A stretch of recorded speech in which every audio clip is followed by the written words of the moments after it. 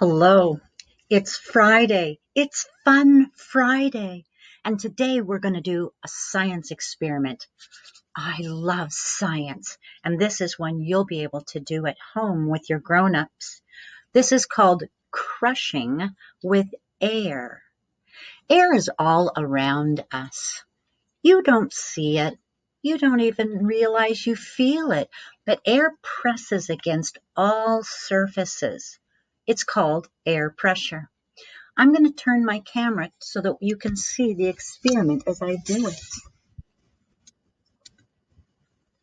What you're going to need is a plastic soda bottle, a funnel, hot water. The grown-up should probably handle that. Cold water and some ice cubes. I'm going to use my funnel to put hot water in the bottle.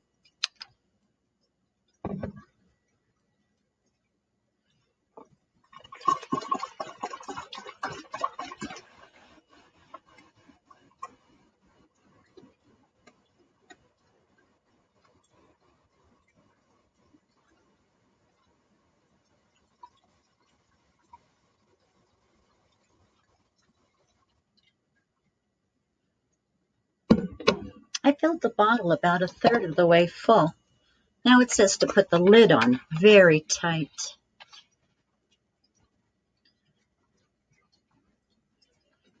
It says we're supposed to let it sit there for a short while. I'm going to count quickly to 10. 1, 2, 3, 4, 5, 6, 7, 8, 9, 10. Now I'm going to lay it down in my bowl. I'm going to pour the ice cubes over it. The cold water. Oh my goodness.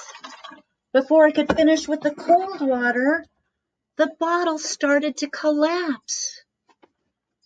It's doing that because the air pressure, as the, as the water cools, the air pressure inside isn't exerting as much force and the air outside, the cooler air, is able to collapse our soda bottle. I wonder if I left it in there for a while, if it would just collapse completely. I don't know.